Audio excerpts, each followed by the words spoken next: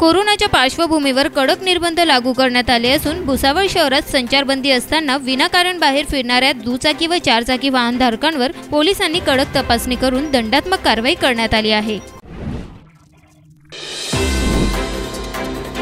Corona लसीच्या पुरवठ्याबाबत केंद्रीय मंत्री नितीन गडकरी यांनी केंद्र सरकारला सल्ला दिला. ज्यादा होती और सप्लाई कम होता है तो प्रॉब्लम क्रिएट होता है।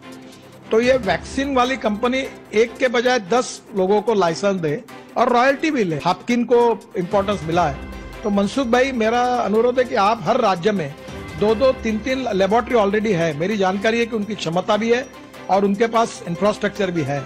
फार्मूला देकर इनका उनके साथ कोऑर्डिनेशन करके अगर ये संख्या बढ़ाएँगे तो पहले उनको कहिए देश में दीजिए, बाद में ज़्यादा होगा तो एक्सपोर्ट करिए। दोन महिन्यांपासून हाताला काम नसल्याने तरुणांनी थेट दुचाकी चोरीचा मार्ग निवडला. आता बांडूक गँगच्या प्रमुख व त्याचा साथीदार यांना दोघांना स्थानिक गुन्हे शाखेच्या पथकाने मंगळवारी त्यांचा पर्दाफाश केला आहे. त्यांच्याकडून चोरीच्या तीन दुचाकी हस्तगत करण्यात आल्या आहेत. दुचाकींची चोरी करणारे दोन संशयितांना काल मंगळवारी दुपारी स्थानिक गुन्हे शाखेच्या पथकाने अटक केली होती. आज न्यायालयाने दोघांना न्यायालयीन कोठडी सुनावली आहे. संचारबंदी असतानाही विनाकारण बाहेर फिरणाऱ्यांवर महापालिकेचे उपायुक्त संतोष वाहुडे यांच्यासह मनपातील पथकाने टावर चौकात दुचाकी व चारचाकी वाहनांची कडक तपासणी केली असून नियमांचे पालन न करणाऱ्यांवर दंडात्मक कारवाई करण्यात आली आहे.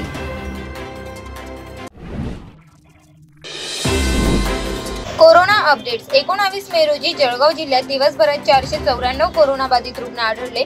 तसेच जळगाव शहरात चौवेचाळीस कोरोनाबाधित रुग्ण आढळले आहे तर आज दिवसभरात कोरोनातून पाचशे बारा रुग्ण बरे झाले.